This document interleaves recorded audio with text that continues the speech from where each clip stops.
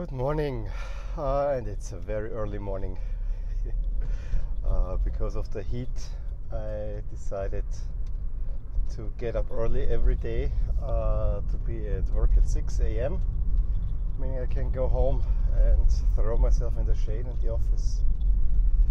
It's not that hot, and there's another benefit I'm not going through any traffic jams, which is always good. So, yeah, but that's not the reason I'm making this video. Uh, I'm making this video now that I've set up the scene for my Spain preview or review. I still don't know. I mean, it's before the season, so I'm calling it. Uh, it's before the season, so I would like to call it a preview. But then, you know, I'm actually reviewing the jerseys, so it's not a preview in the classical sense because I'm not, not telling you who is gonna win. Although, I mean, I might put in a little comment of who I think is are, are, the favorites of the first two leagues that I've covered so far. It's well, the first three. Uh, it's pretty clear: Manchester City, Paris Saint-Germain, and Juventus. Yeah, and we'll see for the Primera Division how it will go. But yeah, having set this up, I said uh, at the beginning of my Serie A review, preview, jersey review, let's say it that way. Um, the Serie A is by far my favorite league to watch, and it still is, despite it not being the strongest one. And um, that, of course, begs the question why. Well, I mean, the obvious, the absolutely obvious is that yeah, AC Milan is my favorite team. There is no question about that. Uh, they're my co-favorite team. Uh, when I say favorite team, I mean favorite team outside of Austria and uh, that's also a story probably for another video uh, why AC Milan became my favorite team but yeah I just say 1990 and you take it from there um, so obviously I was always following Serie A in addition when I grew up Serie A was the best league for my first 10 years of being a fan. Yeah, first eight I want to say, but yeah, we could go even ten. I mean, there was a crazy year in there where uh, suddenly a Champions League final without an Italian team appeared, which was not thinkable uh, for most of the time. There was always an Italian team in there. Um, but yeah, being in the biggest league, uh, that surely will put all the focus on Italy. And it's kind of for me an enigma how Italy lost this prime position. Uh, they really had it all. The Italian league, look at uh, in the 90s, look at the European Cup finals. I mean, if you just go through the Champions League or European Cup finals, I started in 1990 where we had Milan against Benfica. Then we had an off year. We had Marseille against uh, Red Star Belgrade, Crvena Zvezda. Um, in 92, Barcelona against Sampdoria. Sampdoria, they became champions. They had actually a great team back then. Uh, just two names, Mancini and Vialli, were their strikers, but they really had had had a great team. And then came the three years where always Milan was in the final, only winning two. It was, of course, uh, Marseille against Milan. Then my favorite final of all time, Milan against Barcelona. Then we had uh, Milan against Ajax, and then came Juve's reign with three finals where they only win once, but they didn't do it quite like Milan. It was um, Juve versus Ajax, then Juve Dortmund, and then uh, in '98 Juve Real Madrid. And only then came the freak show of uh, Bayern Munich against Manchester United and then in 2000, it was suddenly Real Madrid Valencia. And that was the first time that an Italian team didn't even make it uh, past the quarterfinal stage in the Champions League, and that was a big deal back then. So you see, the 10 years where there was only were only two finals without an Italian team. Uh, but once the second time this happened, yeah, then Italy kind of fell off. They came a little bit back again in 2003 when suddenly there are three in the semifinals and an all-Italian final between Milan and Juventus. Um, and honestly, Milan and Juve kept the kept Italy a little bit afloat in the mid 2000s. But when it came off, it came off mm, badly. I care, like I gotta say. So yeah. So Italy having the best league. Uh, this is a clearly a big factor in me being uh, watching Serie A. This is also where, you know, first I followed Milan, but you know I always liked Italy as a country itself. Uh, and they have so many nice cities. And then if all, in all those cities suddenly uh, you see teams popping. Um, Fiorentina, I mean, the city of Florence is, pro- is probably one of the greatest in all of Europe. Then you have, of course, Rome has two teams. You have Naples. Um, you have even smaller cities like Siena had a team once in. And then, of course, there are those classic uh, southern or coastal teams that uh, Livorno is not a southern team. But you know, I'm talking about Bari, um, Lecce, all those. Pescara is a little bit more north. Uh, just the names uh, do it for me. It's just. Uh, and yeah, so I know a lot about these teams, about their rivalries, and despite all this rivalry, the only one that I really live, uh, yeah, the only one that I really live is the uh, Milan Inter rivalry, um, and to a certain extent Roma Lazio rivalry. Uh, Roma became my second favorite team, just because, uh, yeah, I was in the city of Rome, and I really like how AS Roma takes over the Roman colors and my favorite, and here's how Italy crazy I am. My favorite period of history is the Roman Empire. Pardon. That's uh, for me. It's just amazing the amount of sophistication that this society has achieved with that little means. Uh, so, yeah, there's also another reason. That's why I somehow I somehow like Roma. They have the Capitoline wolf in their crests, and yeah, all the, the Roman city colors. And yeah. Now, when I compare it to other leagues, which other leagues do I like to watch? I think the second one, yeah, probably would be the Austrian league. But uh, these days, no. I barely see Austrian league games except uh, my favorite team plays and I get to it. Uh, but my second favorite to watch is probably Spain. I mean, I never miss Real Madrid against Barcelona or Barcelona, Real Madrid. Um, but I find myself when I have to watch, let's say, there are some lesser level games. I saw it this year when I finally got DAZN, uh, where you know I can finally watch everything that I really want, starting from NFL to uh, Serie A, Primera División, Liga, Premier League. Um, and you know what? Uh, what? What did I put on? I mean, uh, of course, every weekend I watched Milan. Uh, I usually watch the, the, bigger games in Italy as well, but sometimes I find myself even putting on a game like Verona against Udine. Yes, it helps that um, I was last year.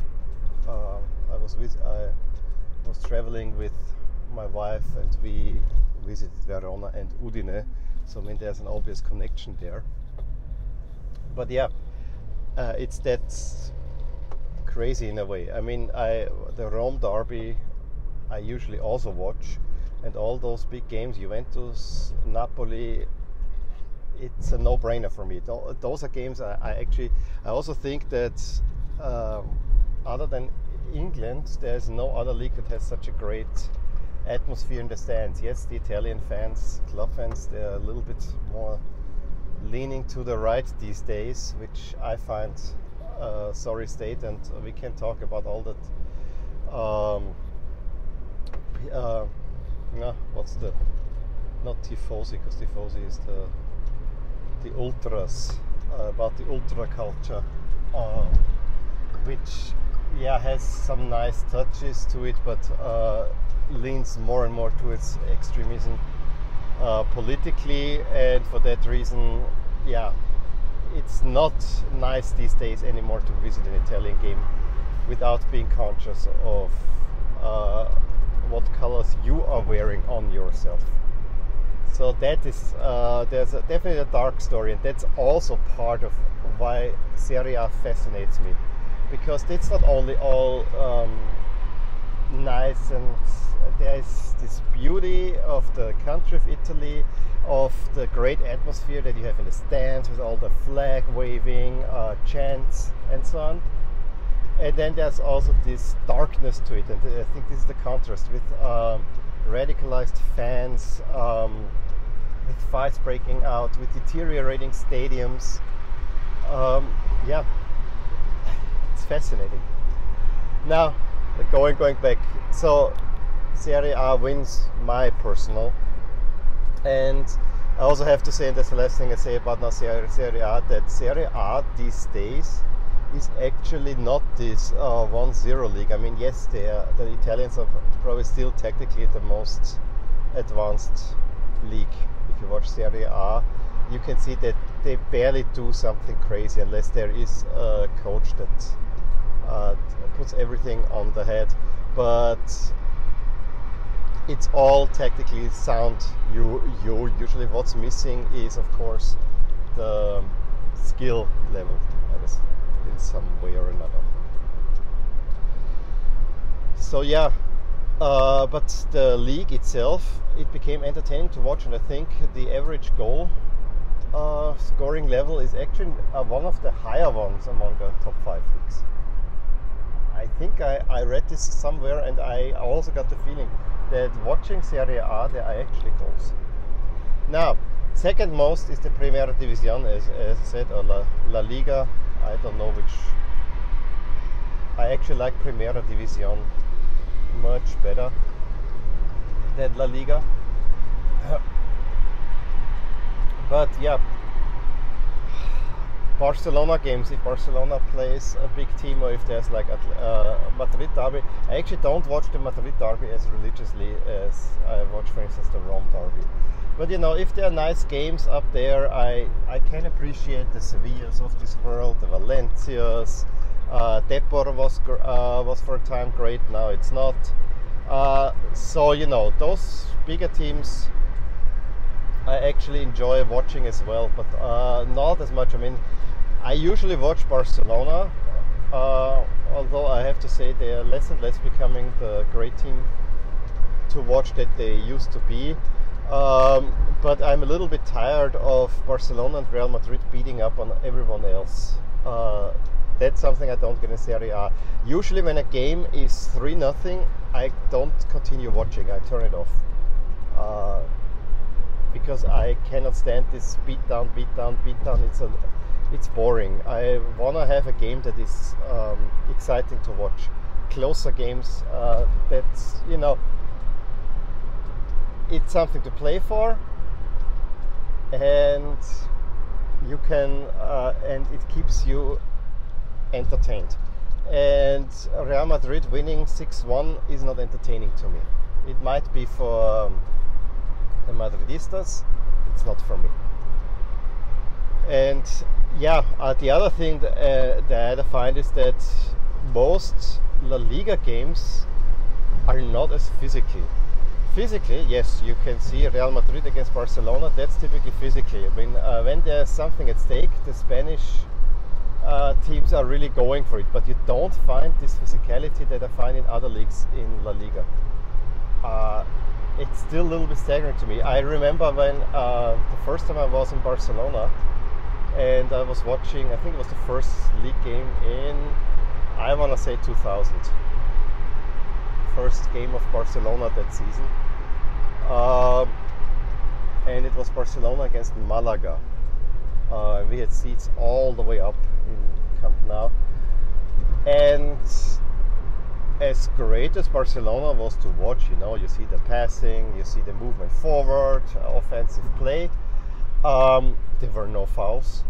Even Malaga, uh, at that time, a team that you know no one really thought much about. I mean, they were more a relegation candidate. Even Malaga was supposedly a team that did not foul. There were no fouls. And not that I'm for uh, unfair play, but I want to see a little bit some physicality in play. And that was not there. And that was uh, that still when I see a Spanish game, uh, it really needs to escalate. That you see some physicality in there. That might be a good thing. I think Spain is probably the league when you if you want to see skill. Spain is the best league to watch, uh, and with having the two best teams in the world in there, yeah, you're bound to see greatness. Yeah, so don't get, get me wrong. Uh, the third most is the Premier League. And there, yeah, I can. I mean, it has to be a bigger team, but there I actually find myself. Uh, it's not that I watch uh, very closely, but I do watch uh, here and there. And even if it's Manchester City against Huddersfield, uh, if it is in a break between the uh, Serie A games, and I don't find a Serie A game that's not appealing to me.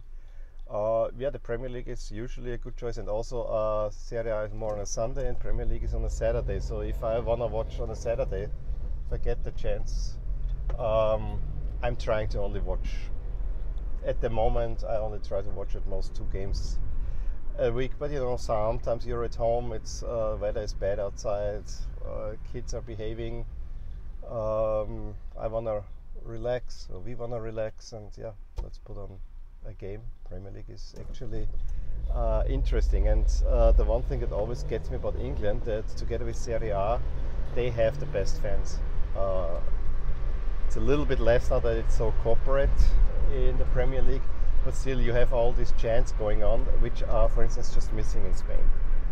Um, then Liga, yeah, very rarely, and I don't have the rights to watch the Bundesliga, but I'm one of the few Austrians where I'm not crazy about the Bundesliga. I mean, there are Austrians that um, say the Bundesliga is their favorite. Yeah, it's a German-speaking league, and I even would say that for many, if you wanna watch your first game in a stadium, um, I would actually recommend the Bundesliga.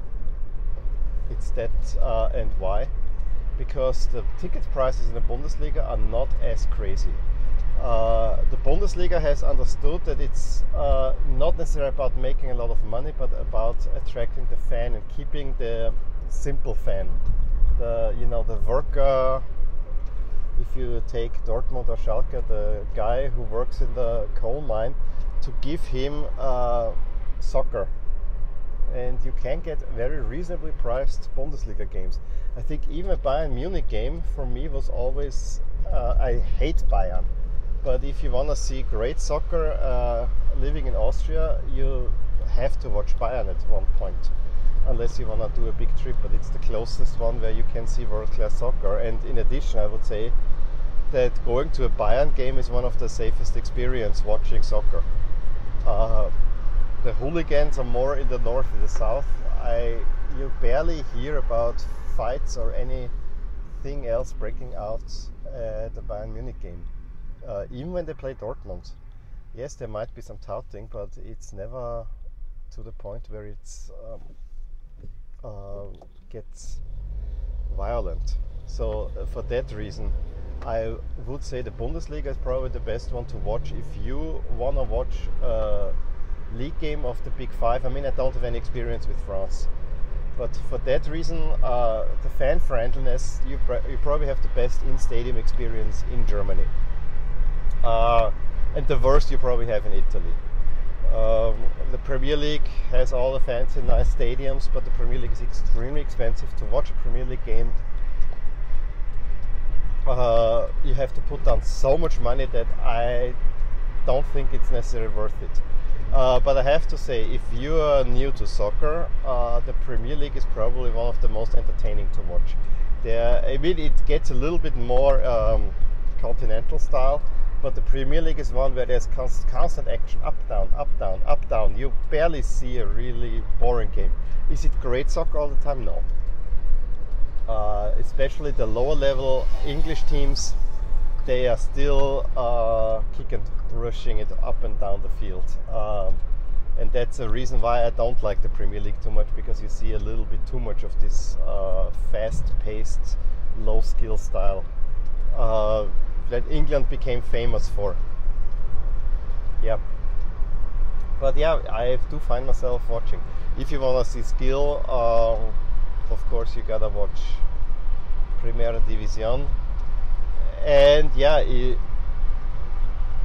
I think Serie A is an acquired taste, but I think it becomes more and more entertaining. But for most time, Serie A was definitely an acquired taste.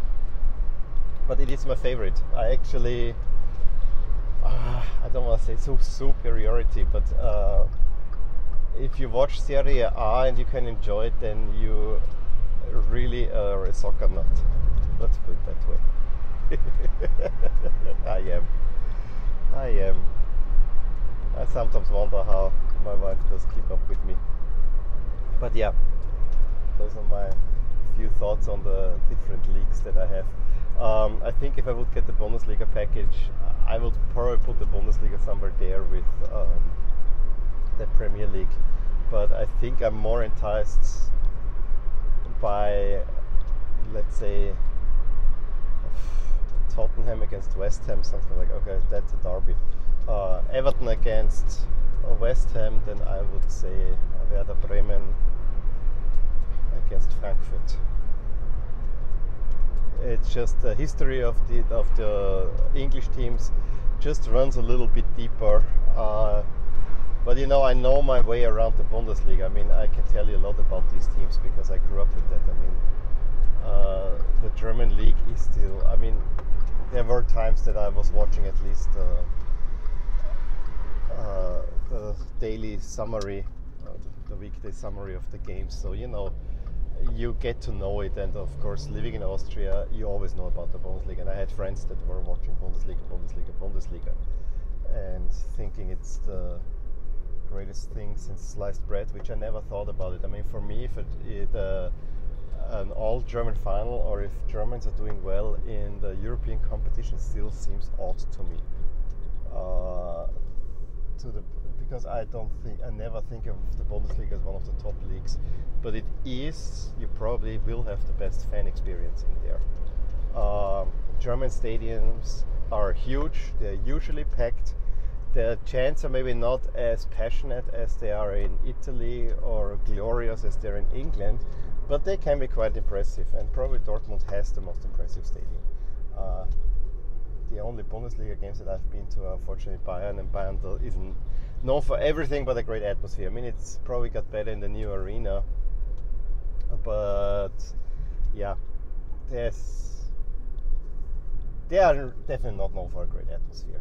I mean, I even remember that at, uh, when they were still playing the Olympiastadion, um, that they used loudspeakers to reflect back that you get a better atmosphere. Well, those are my few cents on why I like Serie A and what I think about the other leaks. I hope you liked this video. If you did, give me a thumbs up. Subscribe to my channel if you want to see more of that, and I will talk to you soon. If you enjoyed this video, please hit like and subscribe to my channel.